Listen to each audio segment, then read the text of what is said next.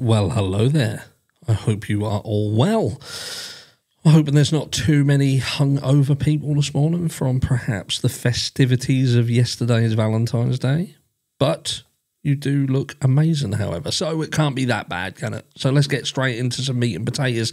As this video was spurned from a conversation that I had yesterday with somebody in the comments.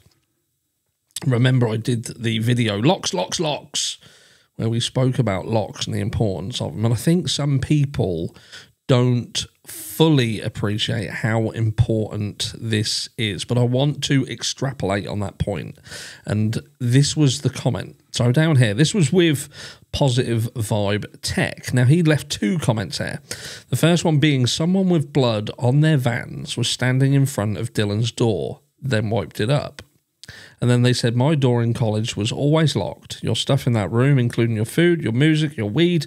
Do you think Joe across the hall has any problems about taking any of that stuff? And I think both of them valid points. But the Vans, the Vans print is very, very important. Now, what I will first of all say is look, as it stands at the moment, with respect of Dylan Mortensen, nothing has been proven. Nothing has been proven whatsoever. She's caught some heat um, because at the end of the day, the, the the Idaho Four case and how it's been handled has meant that her part in all this has been in such a way that it leaves a lot of questions and leaves a lot of factors of the case open to interpretation, such as the eight-hour time delay.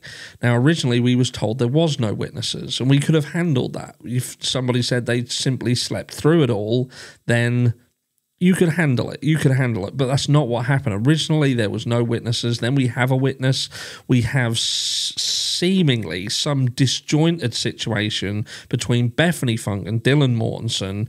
With Bethany Funke, it would appear being hidden and being protected while they allow Dylan Mortensen to stand up front and she has now become a material witness. She has said that she has seen someone. The entire timeline is based upon her interaction seemingly with this person clad in black with big bushy eyebrows. But people have forgotten about the van footprint. There was a latent footprint found outside Dylan Mortensen's door. Now, it was stated that it was found outside her door, and it was the only footprint that was mentioned. Now, was that put out there for any specific reason at all? We don't know, but it was put out there all the same. And the reason why this footprint, in my opinion, is so important because it would be the placement of that footprint.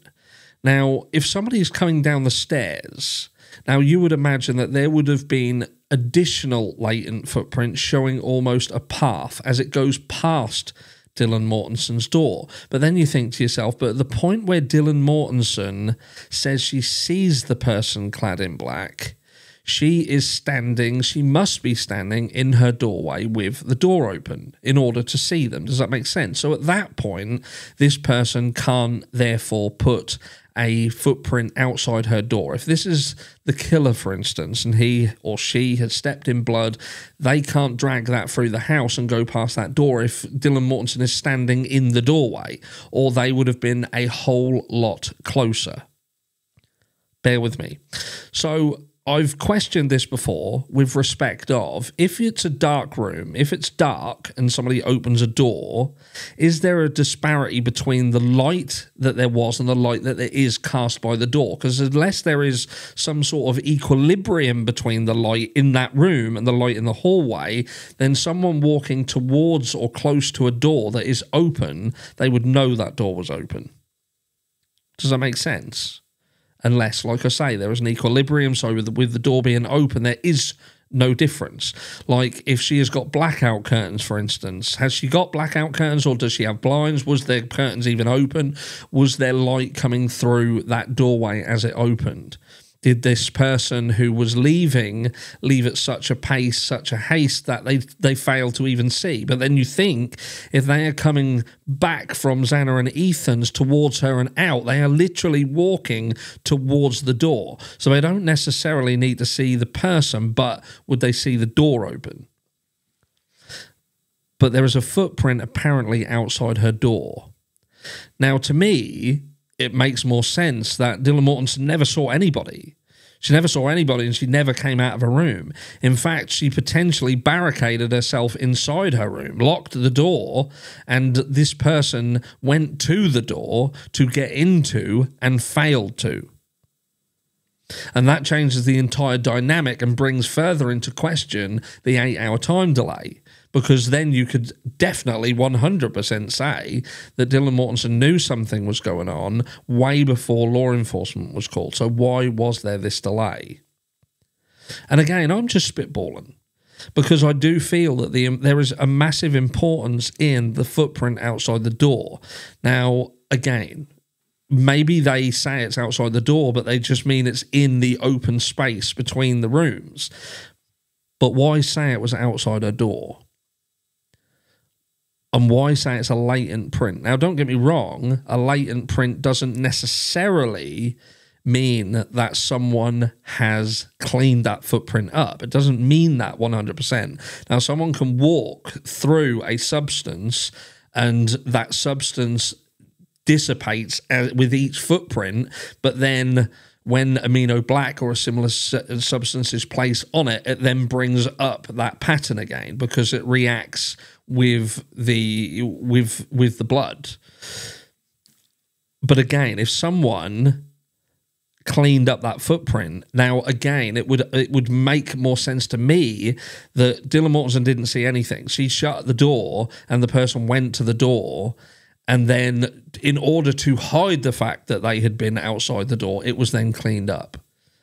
But that footprint is a massive, massive piece of the puzzle in my opinion. I'd be interested to know what your thoughts and feelings are around this. We talked about yesterday, didn't we? The locks and locks, locks, locks. And again, I said, I don't think people fully understand the importance of that situation. You know, with, the, some of us who have been in college and been in situations where you've stayed there and you've been in student accommodation, dorms, or student housing, I kept the door shut. Everybody I knew kept the door shut and locked you know, I kept locked, sorry, not just shut, but locked. I don't know anyone who left their their rooms unlocked. And I did say yesterday, on you know, the difference between the UK and America might be a completely different kettle of fish. But you have to then question, as we did yesterday, as to why Xana would choose to have her lock replaced if that wasn't a lock that was being used. Obviously, the function of that lock was important to her, and it was only important for different reason. That was either they felt that there was people coming into the house who they didn't trust, or they didn't trust the people who they actually lived with, or they were looking for peace and quiet, or people not walking in when they were in there when she was in there, perhaps with Ethan. But then that would be argued again. Then on this night when she is in the room with Ethan, why not utilize the lock that you have had changed? But like I say, we know the rooms have locks, and we hear that there is a a, a latent print outside one of the surviving roommate's doors. A print that may or may not have been attempted to be cleaned and was only revealed when it reacted with the chemical agent that was used to bring that footprint up. It didn't mention any other prints, just one being outside her door. But I, I, I say once again, with respect of what she claims to have seen, that to me does not make sense. Again, with the light, the equilibrium between the light in the room and the light in the hallway, I feel that someone walking towards that door would have seen the door open, unless there was indeed equilibrium between the two areas of the house. But for there to be a print outside the door, there was someone outside the door. Now, was the footprint walking away from the door? Was it walking towards the door? Was it walking sideways on to show a path of travel past, towards, or away from? All of these things are important, but these are questions that Anne Taylor hopefully will ask.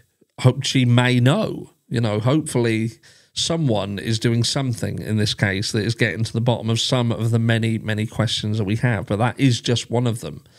Whose footprint was it?